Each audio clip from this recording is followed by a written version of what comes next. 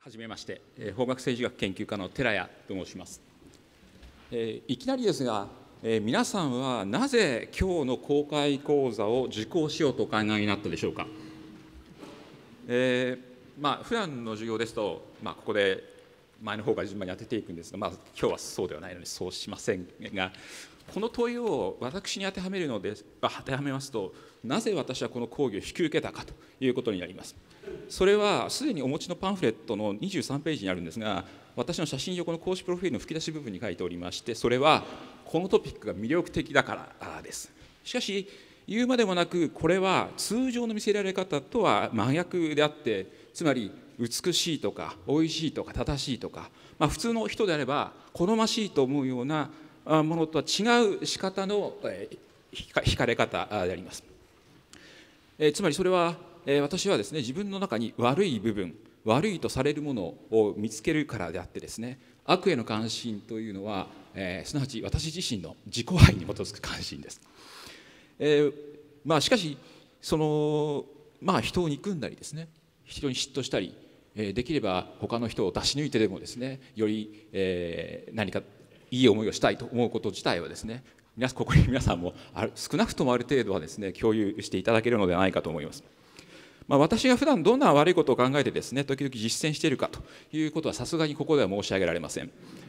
えー仕事での悪行を話そうにもですね、えー今回の企画の企画委員長は偶然にも法学政治学研究科の研究課長の西川先生そちらにいらっしゃいます。えー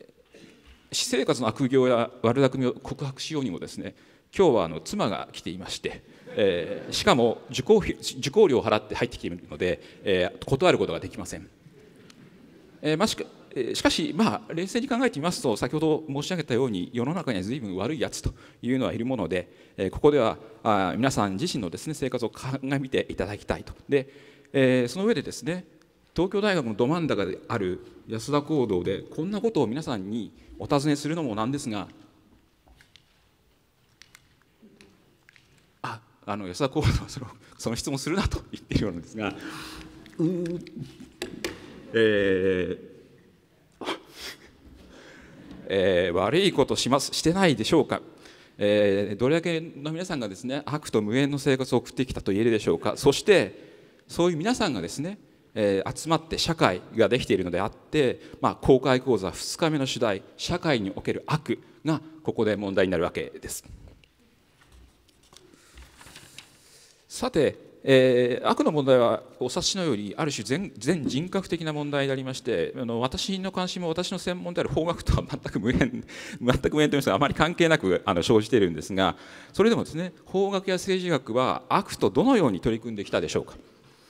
えーこの講義の第1日目のですね、えーまあ、開講の字で、えーまあえー企画委員長の石川先生からは人間に関する多くの学問も正面からこの問題に取り組んできましたと述べられました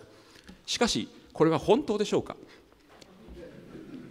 えーこれは単なる傍聴に過ぎないのですが私この講義の準備にあたって、えー法学政治学に関する辞書を56冊調べていましたが悪の項目を持つものはあ一冊もありませんでした。えー一つ例を挙げますと、まあ、有比較という出版社があるんですがそこの法律学小辞典これは2008年が最新版なんですが、えーこの辞典はですね8261項目もの項目を持っていますがもちろん悪もなくですね、えー悪と関係する項目は一つしかありませんでした、えーただしこの一つはとても重要です、えーそれは、えー悪法も法なりです。えーご存知の通りソクラテスがアテネの法に従って毒害を煽ったと、えー話です自分自身は悪い方によって不当に裁かれているのだと思ったとしてもですねこれが法である以上守らなければならないと、まあ、毒害を煽ってですねその死刑の判決を甘んじて受けたわけです。まあ、考えてみれば相当変わった人なので、えーそれに従う必要は全くないと私は思うんですけれども、えーそれにしてもですねここには法学の社会に対するアプローチの一つが表現されていると言ってよろしいかと思います。えーそれをやや専門的な表現で言いますと法実証主義、えーと言ってよろしいかと思います。えー専門的にはさまざまに定義されますいろいろ争いがあるところですがここでは次のように定義しておきますすなわちすでにある法のみを法と認め善悪や正不正などの価値判断と切り離す立場ですつまり一定の手続き例えばですね国会で決めたとか、えー、十分に審議したとかですね、まあ、国会で決め決めて法律したといったそういった手続きですがこのような手続きを踏んで法と認められたものはだものだけをですね法と考える。そしてその決まった後でですね例えばこれは善だとか悪だとかあるいは正不正だとかいうことに従わないといったこういうこと他ことを認めないということになります。つまり法学はむしろ悪の問題を切り離してきた正面から立ち向かってきたとは必ずしも言えないとも言えます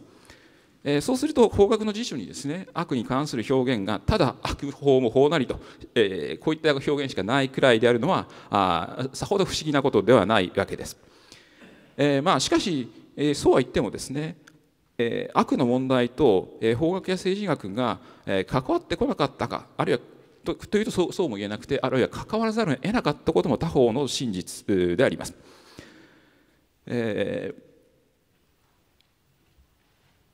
すでに公開講座の1日目で中国思想に来る性悪説の話を気になっている方も多いかろうかと思いますが、えー、性悪説は人間の本性を悪と見る考え方です。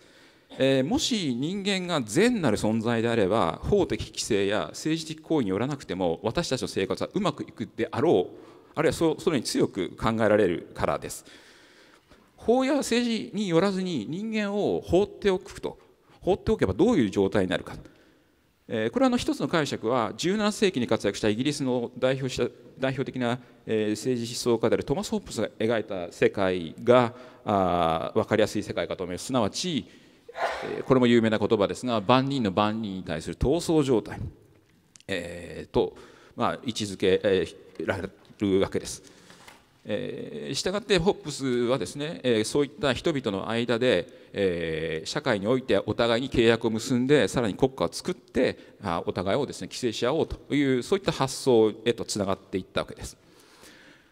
えー、しかしここで一つ注意が必要なのは法学や政治学が悪と取り組んでいったかと問う前にそもそもですねこの法なり国家なりが悪と無縁なのかどうかです。この点規制手法である法なり法を作っている国家も悪だと。少なくとも一定程度悪だと言わざるを得ないところです。例えば刑法を考えてみてください。確かに刑法は悪い人を罰して例えば殺人者を死刑にします。え、しかしそれはあいつが悪いことをしたからだとか社会にとって害だからというにしてもですね死刑なり死刑という刑罰自体がえー、生命を奪っている行為であることは確かですし、まあ、牢屋で、えー、交流すると、えー、いうこと自体もこれは自由を奪っていることに変わらないわけです。まあ、殺人者を処罰しているのは人の命を奪うことが悪いことだと考えているからですがしかしその処罰自身がですね人の命を奪うということであれば国家自らが国家自ら悪だと宣言した行為に自ら身を染めることになります。先ほど悪法も法なりというソクラテスの言葉に触れましたがつまり法はいつも善や正しさとともにあるとは限らずむしろ強いものあるいは法を決める側、えー、ソクラテスのってはアテレの有力者ですがの利益のものだととも言えます。悪が跋扈していることはその主役に国家がいることを悪が跋扈していることについてはその主役そしてその主役にですね国家がいることはが一層分かりやすいのがあの国際社会かと思います。えー、先ほど触れたホップズは国際社会がですね、えー、遣唐使が争っている様に見立てています。えー、そのまま引用しますと諸政治国家の外には各人の各人に対する戦争が常に存在すると、えー、そのように語っています。まあ、こうした国際社会観はその後も脈々と受け継がれていまして、まあ、政治的現実主義と呼ばれることもあります。これはあの皆さんの実感にもかなうものかと思います。えー、各種領域紛争、えー、尖閣諸島の争いであるとかですね、えー、北方領土の争いであるとかですねあるいは核兵器の使用といったことの非常に強いその国家と国家のですねせめぎ合いなどを見るとですねなるほどこういった見方っていうのはある程度説得的少なくともある程度説得的なように思われるわけです。そして国際社会においての一つの特徴は国家の上に立つ上位権力が存在しないことです。国内の場合はですね中央集権的に上位に政府が、まあ、あるわけですが国際関係にはですねそういった世界政府はありませんホップスは続けて次のようにも言っています各人の各人に対するこの戦争が何事も不正でありえないということもまた帰結される聖者 Right and Wrong と正不正 Justice and Injustice の観念はそこには存在の余地を持たない共通の権利がないところには法はなく法がないところには不正はないとえそのように述べているところです。えここで、まあ、国際社会における悪について議論を本格的に移したいと思います。まあ、あのいろいろ 悪だらけなんですけれどもやはり最も顕著なそして分かりやすい例は戦争かと思われます。えー、まあ何せあのここではですね人、まあ、この場合は敵ですがそれを殺すことがですね悪いことだとは必ずしも考えれていないからです。えここでですね例えばキリスト教を例にとるとよろしいかと思います少し歴史的な話にはなりますが、えー、紀元3世紀頃までですねあの全ての戦争はキリストの教えに反するといった観念があの広く流布していました、まあ、しかしま我々の実感からしてもおかしいかと思うんですが右の方を殴られたら左の方を差し出せと聖書に書いているのになぜ戦争するのかと。これはあの非常に不思議なことです。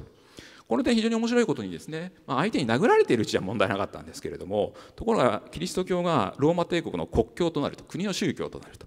でえー、まあ、公教会もですねキリスト教が兵士になることを是認すると、えー、しかし他方でローマ帝国の北方でゲルマン人の侵入を受けるとそうすると戦争否定の立場を貫くということが困難になっていきます。ま、あの左の方を差し立て続ける軍隊というのはなかなかですね多分あんまり強くないわけです。そこでまあ一定の条件のもとに戦争を正当化する必要が生まれてくるわけです。えー、その考えが聖戦論、えー、正しい戦争があるという考え方です。えー、この考え方は多くの論者が唱えます、えー、4世紀から5世紀に活躍した神学者のアウグスチヌス、13世紀の神学者トマス・アクィナスえー、さらに近世に入ればヴィトリア・スアレス・ゲンティリ・グロティウス・ズーチといった国際法学者たちもですねこういった中世の聖戦論に強い影響を受けつつ議論を展開しました。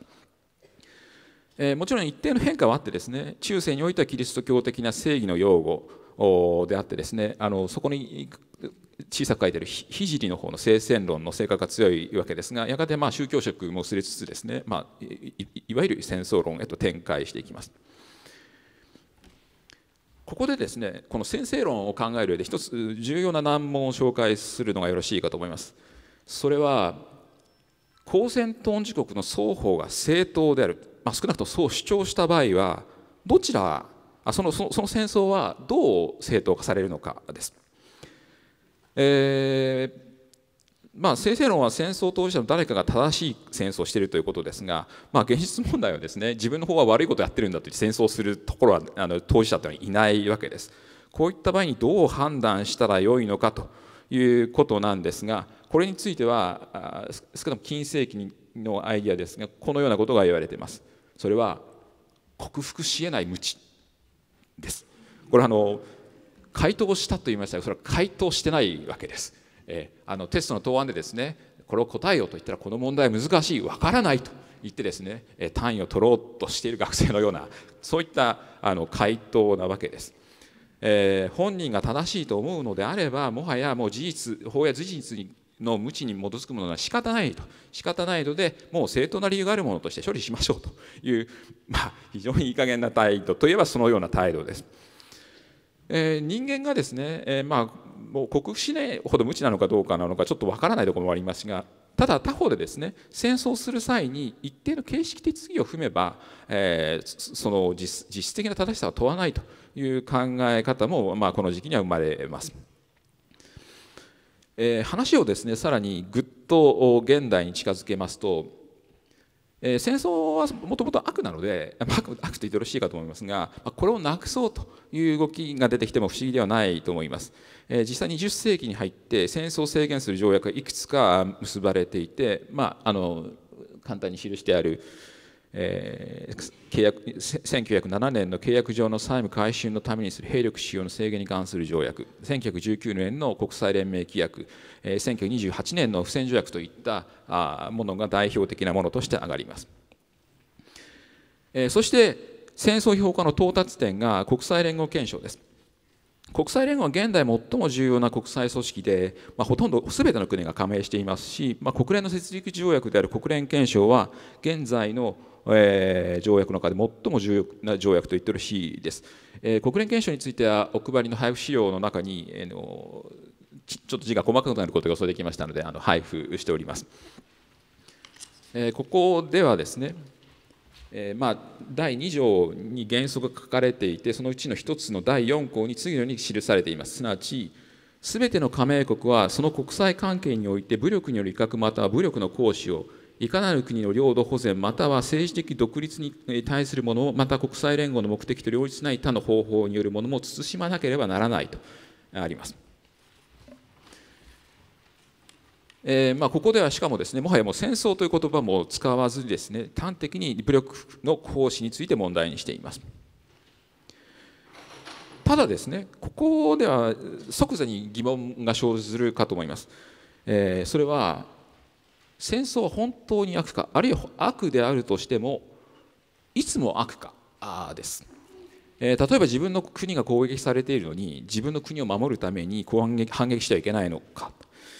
あるいはある国が弱い国の国境を越えて侵犯している時に他の国が一致団結してその国のですね行為をやめさせることは悪いことなのかと。いうそういった疑問が生じえます。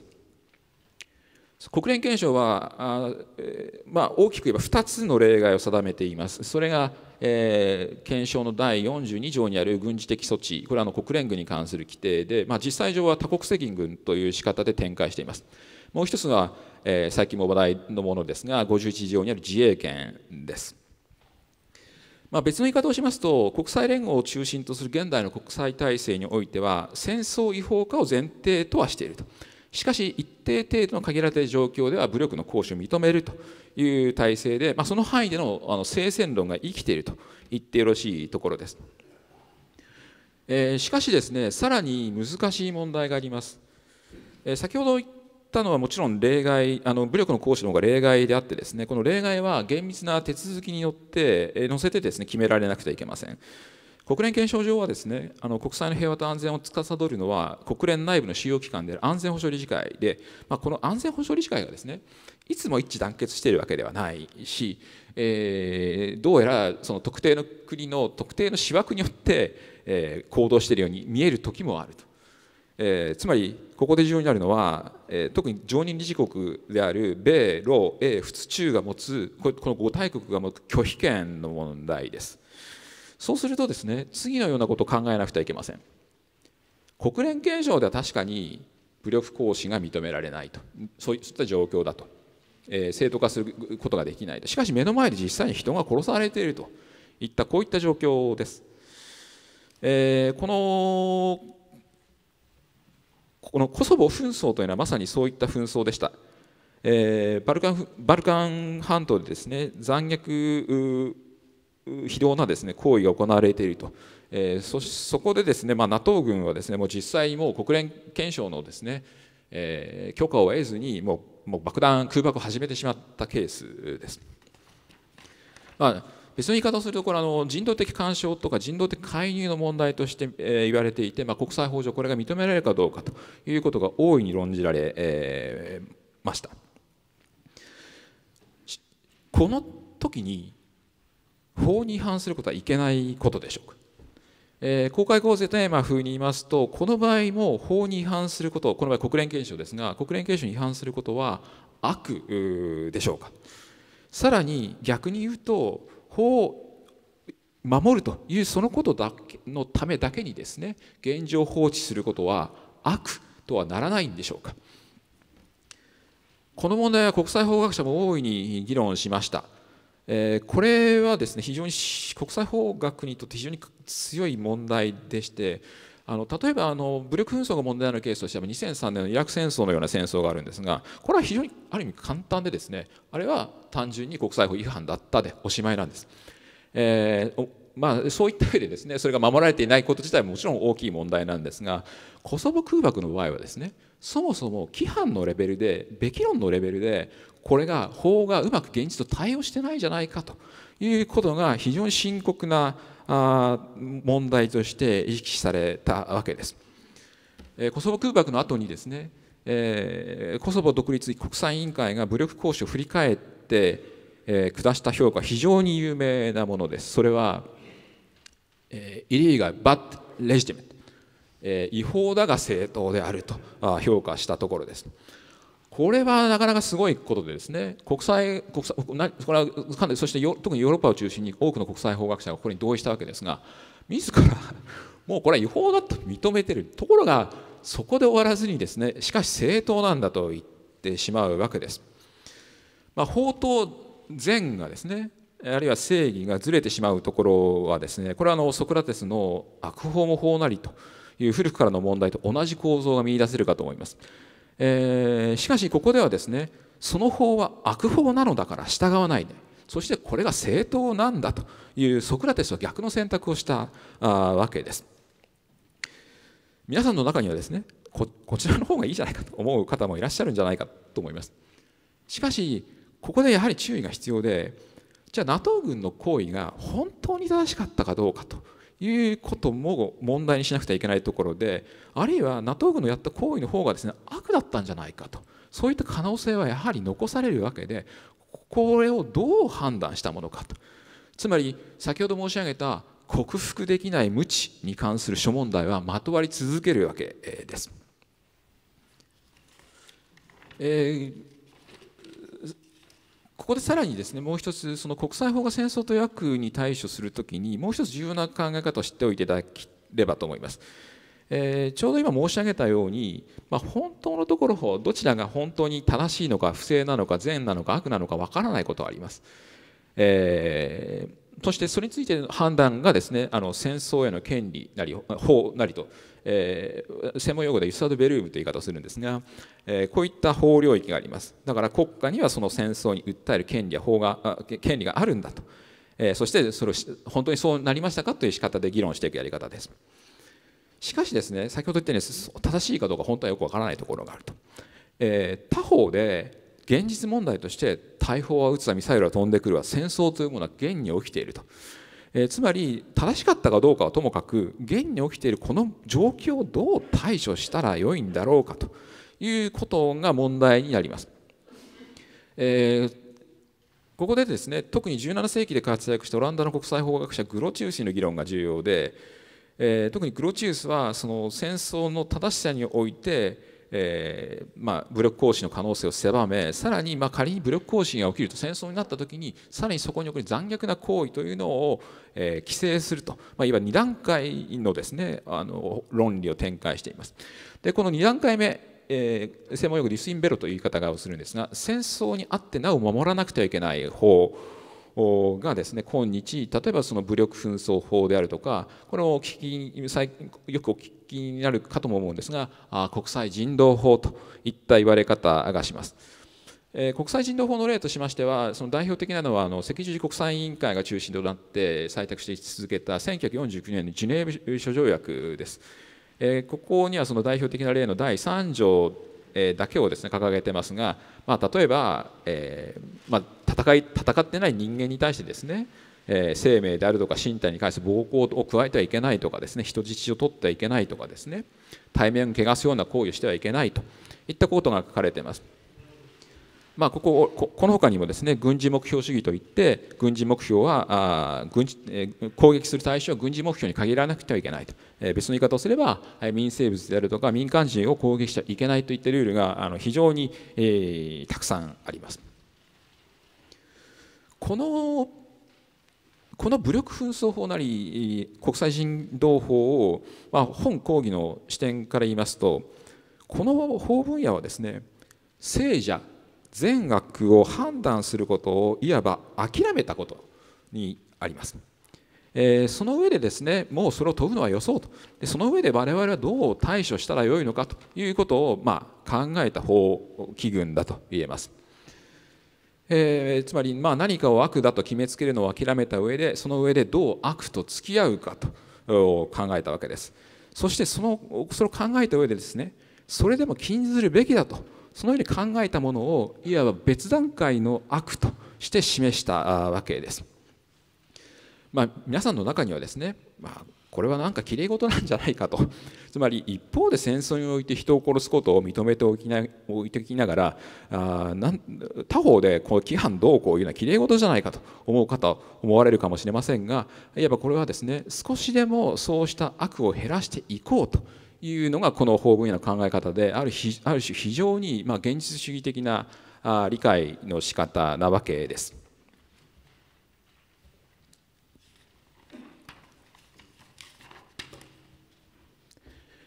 えー、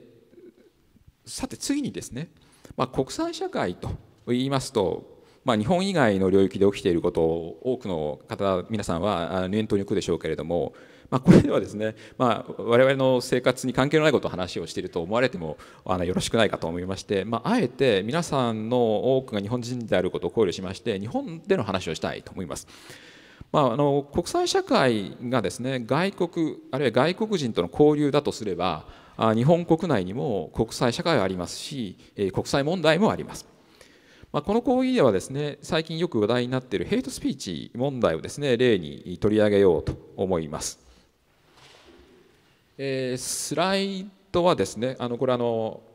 えー、朝日新聞のネットから撮ってきたあの写真ですが、えーまあ、これあのヘイトスピーチのデモとですねそれに反対するデモの様子です。まあの紹介する事件はですね京都ヘイトスピーチ事件としてですね、まあ、の最近話題になった有名な事件で新聞でも大きく報道されたので、えー、多くの方はご存知かと思うんですが、えー、この事件はですね、まあえ、原告は朝鮮人教育一般文化啓蒙事業をです、ね、目的とする学校法人でした、まあ、北朝鮮を祖国とする人々のがあのその指定を通わせている学校でした。えーまあ、被告被告のですねあの ある、まあ、団体はですね、えーまあ、彼らに彼らの言葉を使えばですが、えー、在日問題を広く一般に提起在日を特権的に扱ういわゆる在日特権をなくすことを目的としていると、まあえー、彼らの言葉を使えばそういったことを目的とする団体で、まあ、この学校の近くに行って行ってですね、まあ、非常にデモをすると、まあ、デモというと聞こえがいいのか悪いのか分かりませんが、まあえー、非常に過激な表現で、えー、罵詈雑言をですね学校に向けて、えー、拡声器を使ってですねあの行うと、えー、そういった恣意活動なわけだったですだけです。えまあ、の過激な表現を紹介するのもいいんですが過激な表現をするとそれ自体は私が言っていることになるので、まあ、そういうのはあのなかなか難しいところなんですけれども、まあ、それにしてもですねあの、まあ、非常にひどい今私からするとひどいことを言っているわけだし、まあ、対象もですね、まあ、これあのただの学校ですから。えー、学校の子どもたちにそれを言ってもななななんでそんなことを言うんだっていう話になるなる話です。まあ、あの人種差別このこれはまあ非常に国際的にもですねこういった行為自体が大いに取り沙汰されましたがここでまああの日本が締約して、えー、締約国ともなっている関連する条約はこの人種差別撤廃条約です。まあ、その第一条に従うと人種差別というのは人種皮膚の色これらに従ってですねえーまあ、政治的経済的社会的文化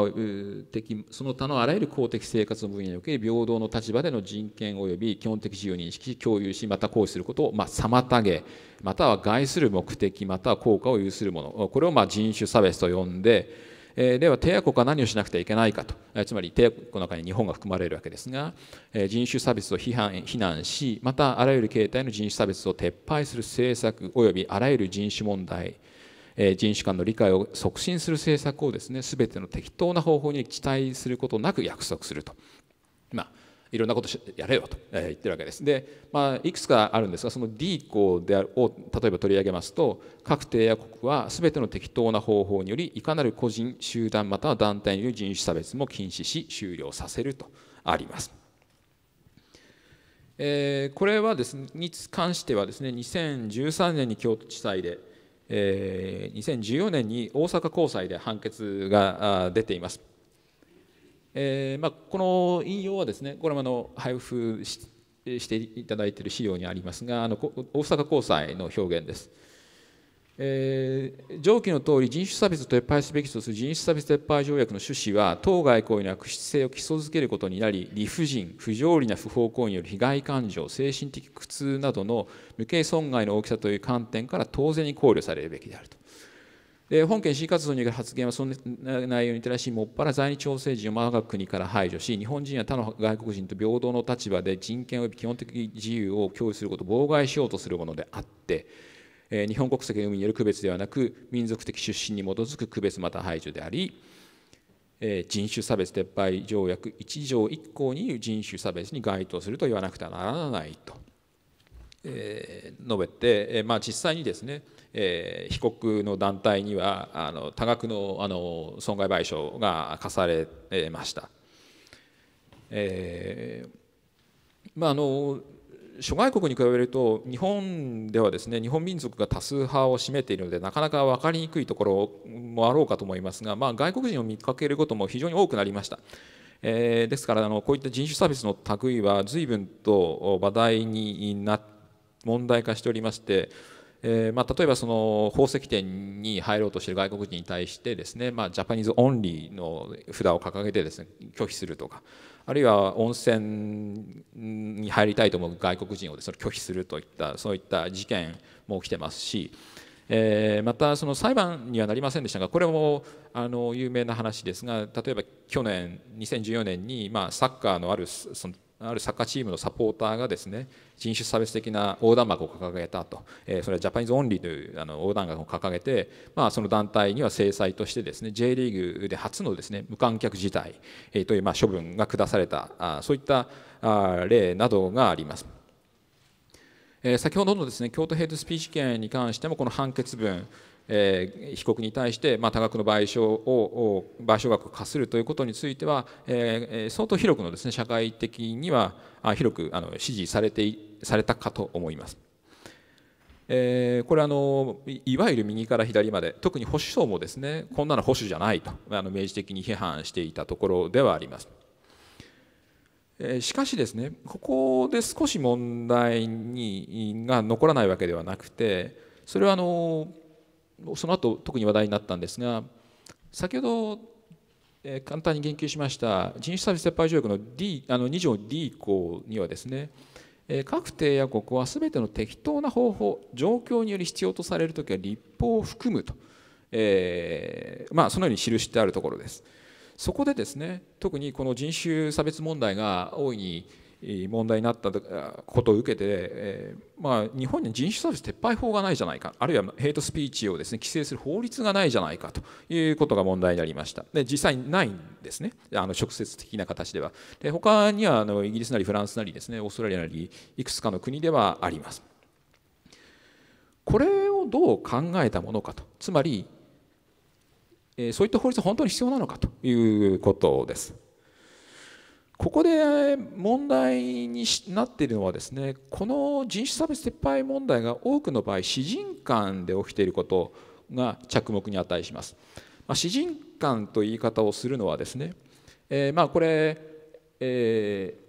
ー、昨日せっせと作り上げていた 使いなんですけれども、まあ、この三角がまあ国家だとして、まあ、上に国家なり政府なりがあって、まあ、通常権力関係としてあの基礎的なものとして理解されるのは国家と個人の関係です。え、左側の個人とですね上に方にいる国家のこの垂直的な関係においてですねこの個人左側の、え、緑色の人がですね、え、人権を侵害されないあれされてはいけないという仕方で問題にします。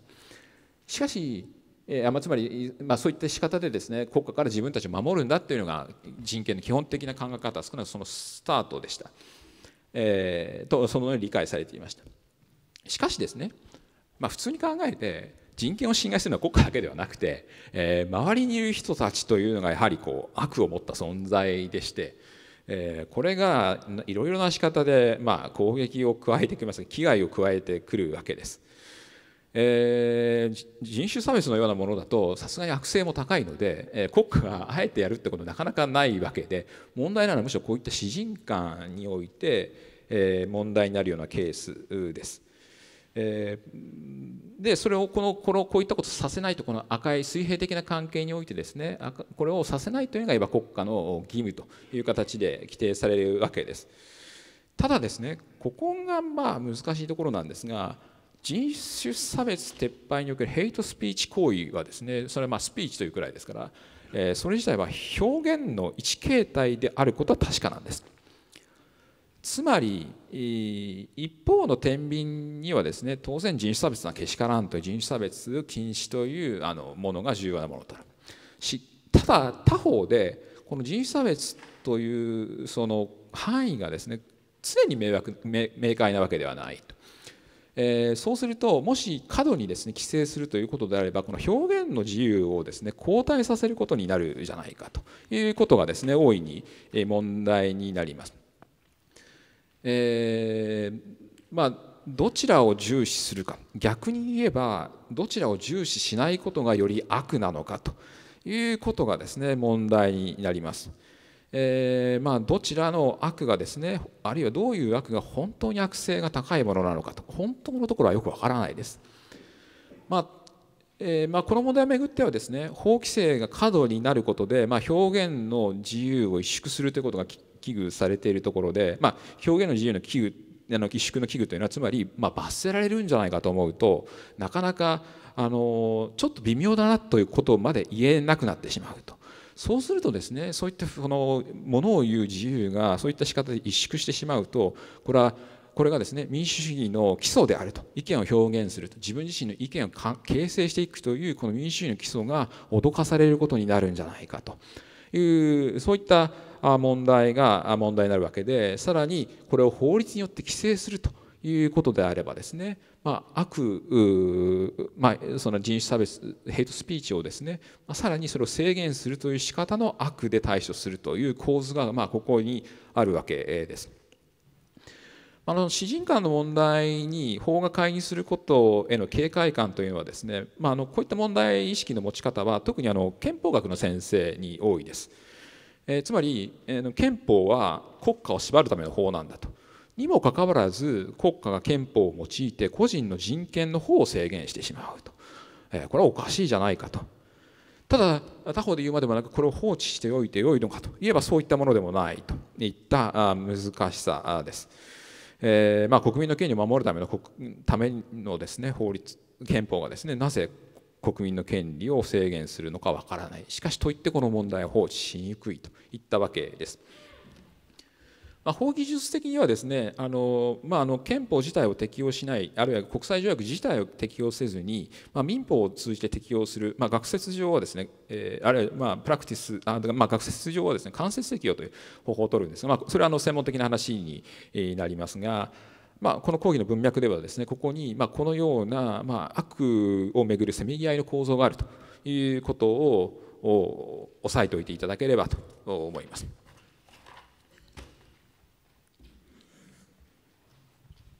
えー、やや早くなっておりますがあのもうすでにあの結びを あの結ばせていただきたいと思ってます。あの私の話をですね、えーまあ、簡単にまとめますと、まあ、悪の問題を法学政治学の観点から特にまあ国際社会における法と政治の問題を考えているところですがお聞きのように私自身は何か解決策を示したわけではないですし、まあ、ただ悪をめぐる問題状況をお話ししたにとどめますとどまっています、まあ、暫定的にまとめておきますと第一に何が悪かについては明確ではないですし法学や政治学はこれを正面から定義するようなことは中心的課題だったかというとですね、えそれは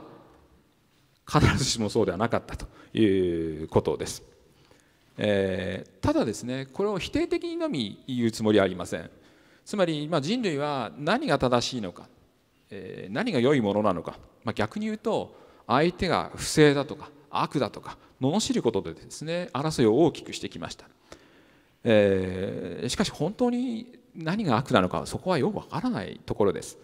えー、つまり何が悪かそしてどうそれを決めるのかと。えー、それをそもそも知ることができるのかと、えー、それについて我々は無知なのではないかそしてそれを克服できないのではないかと。いった問題が我々の中にはあるわけです。そうするとですね次のようなことを考えざるを得ないところでそれは、えー、もうそんなことはやめようと、えー、お互い話し合って合意によって得られた法を作ってこのあらかじめ作った法に従って行動しましょうとそのような仕方でですね善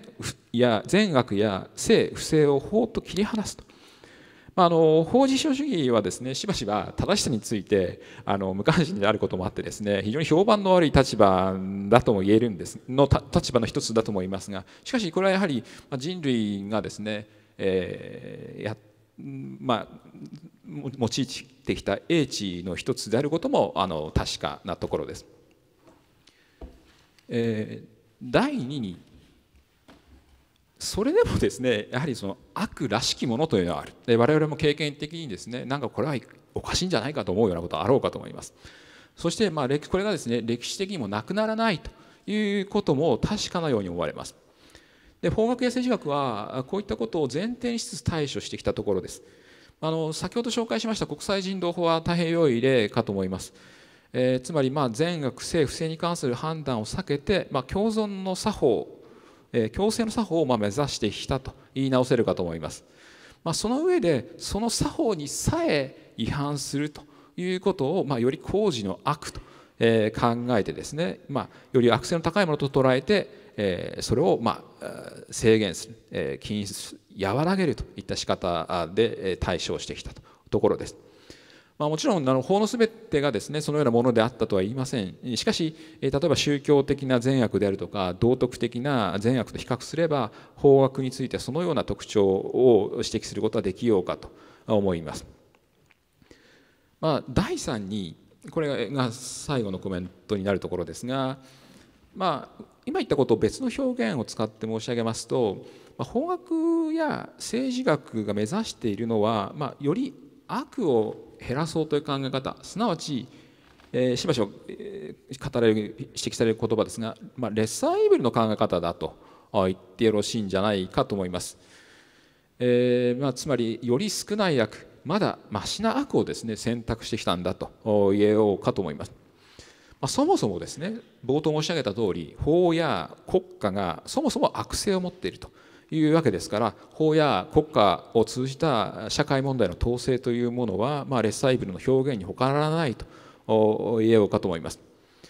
ヘイトスピーチをめぐる法規制もそのようなものでですね、まあ、現状で進歩を作るにしても、まあ、それはそれで一つの在り方なわけですが、まあ、それがですねより悪が少ないのはどちらなのかという仕方で問うとでそれ自体は悪であり得る法である国家の介入をですねいかに少なくするかといった、まあ、そういったことをもろもろ考えるわけです。まあ、あの皆さんの中には、えー、私が申し上げていることがですねなんかとんでもない話だと思われる方がいてもですね、まあ、それは不思議なことではありませんすなわち私が申し上げているのはえー、すなわちあのそういった、えー、皆方にとってはですね法や国家というのは一つの正義の秩序善の秩序の表れのはずじゃないかと思われる思っていらっしゃる方も多かろうかと思います。まあ、しかし、まあ、やはり私は先ほどのように言うしかありませんし、まあ、法や国家の悪のさらに先にはですね、まあ、それを生み出している社会の悪があるのであって、まあ、社会というのは、えー、我々の交流の場交流しているその全体を指しているわけつまりその社会の悪の先にはですね我々自身の悪、えー、妬みそみ差別したいという感情、えー、時々暴力も振るいたくなっちゃったりするそういったタイプのですね悪が潜んでいると思われるからです。えー、冒頭私はですね悪いことをしてませんか？とお尋ねしました。失礼にもそのようにお尋ねしました、まあ、しかしもちろん言うまでもなく私の答えは「ええやってますとも」と、えー、いうことです、えーまあ、私たち自身がですね私自身の中にある悪とどう付き合っていくかと。そしてそれをいわばどう飼いならすのかと。えー、暴力も差別も人間から生まれているものであることを認識しつつどうするかと。もちろんそのレッサーイブルの立場は問題のない対処方法ではありませんし、まあ、と言いますかこれはあの問題そのものを受け入れるあるいはこれと寄り添うといった立場だってよろしいかもしれません。まあ、の我々の経験則に基づきつつですね社会運営に関しては非常に不安定なあの舵取りを常に迫られていますし、まあ、これからもそうであろうかと思われます。ご清聴ありがとうございました。